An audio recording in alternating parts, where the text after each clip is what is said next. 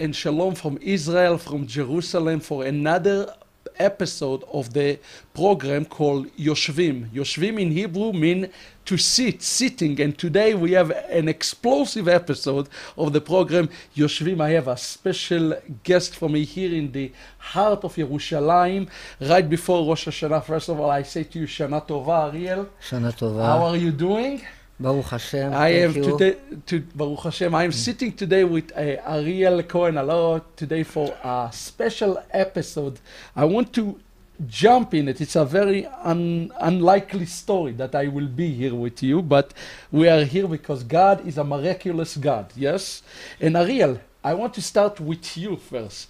You had an, uh, an amazing journey in your life. Uh, you are an Orthodox Jew, is this, uh, Yes. is this uh, uh, correct? Can you Correct. share briefly a little bit about uh, uh, your background, Ariel, and how you came to Orthodox Judaism, even?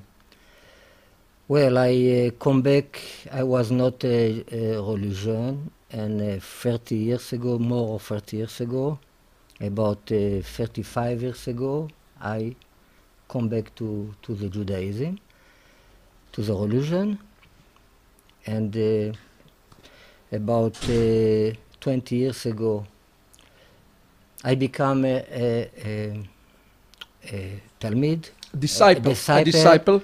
of Arav Yitzhak Ginsburgh. So let's stop there for our audience, Okay. and maybe you explain what's the significance, who is Rabbi Ginsburgh, such as people can get a uh, understanding. Uh, today is, is very famous. He wrote maybe 80, 80 books of Kabbalah and Hasidut.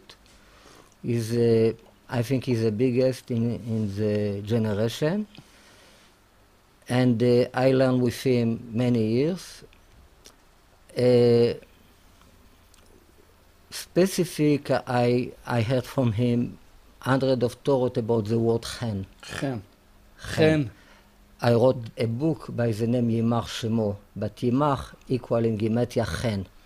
Let's let's stop for a second, just so we Okay. bring bring the people with it. The chen actually mean a, a grace, Grace, something like. Chen. And if you look at the Hebrew letter chet and nun, you flip them right, you get the Yes. name Noach, right? Noach. It's the name in there.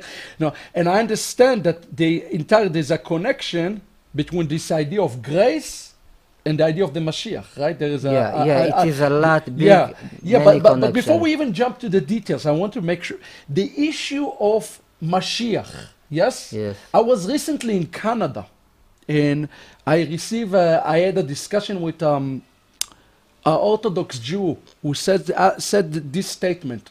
I would like to take your thoughts about this statement. He says that Judaism is not a Messiah-based religion.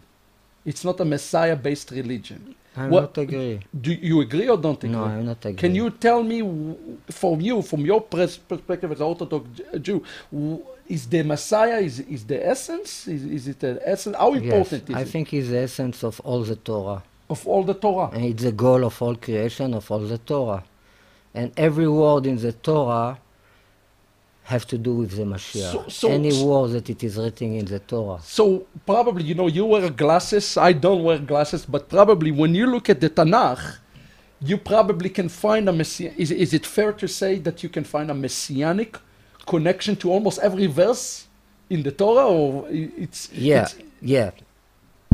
But uh, always it is a word that is more close and a word that is more far. okay. What make us to know if something is close or far, it's what you call gematria. Gematria. All right? Okay. Let's say that the word snake equal in gematria Mashiach, Nachash equal Mashiach 358, it means that it is something similar between these two words. So- it means that I can learn about Mashiach from everything that it is written about the snake. From it, I can learn what, it's, what is a Mashiach. Fair enough. But somebody, let me ask Fall you a down. question. Somebody could argue this. Understood your point. Uh, maybe we should explain to the listeners that every Hebrew letter have a numerical value that is associated with it, and by this you can equivalent. For instance, the word Mashiach is equivalent to the number 358 in Hebrew, and the word snake or Nachash in Hebrew is always also equal Yeah. 358. So, for instance, when we read in uh, Numbers in uh, uh, uh, Bamidbar, right? on the Nachash HaNechoshet, right? The bronze Yeah. serpent. What is the, is there is a messianic connection Sure, there? Sure. Can, can you take us through an example? Uh, you just so know, we uh, this this story about the snake in the desert show you that the snake is not only bit; yes. it can be the healer. yes. But for him to become from a killer to a healer, it depends of us to lift him. To lift him. It means to give him a respect and to watch him very well, very deeply.